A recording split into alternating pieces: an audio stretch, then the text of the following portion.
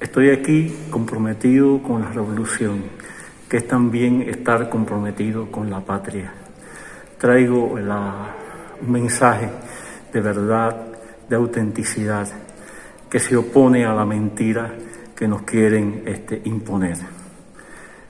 La cultura es un escudo, una fuerza que tiene la revolución. Por eso los artistas estamos comprometidos, los artistas revolucionarios y, en oposición a aquellos que han utilizado eh, toda la situación de la pandemia en una actitud de, poca humanidad para, de forma oportunista, crear el caos, crear todo ese estado de, mentira y de engaño con el que están a veces inclusive comunicándose en, en el mundo.